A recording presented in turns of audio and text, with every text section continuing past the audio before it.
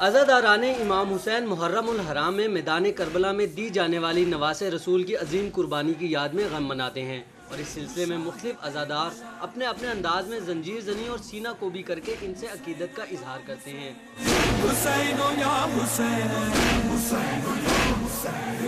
Hussein.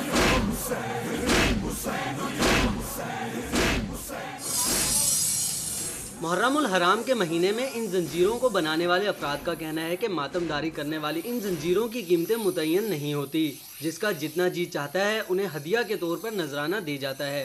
इसकी कीमत कोई कहते इसको हदिया कहते हैं।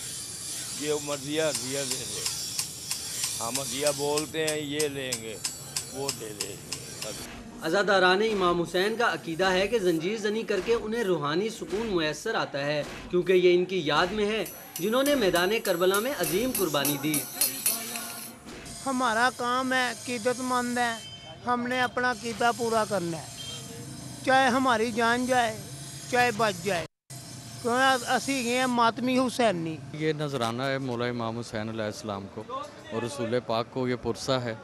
इसलिए बेसिकली इसमें मोहब्बत और आल मोहम्मद के साथ जो है, हमारा जज्बा उन्हीं के साथ है।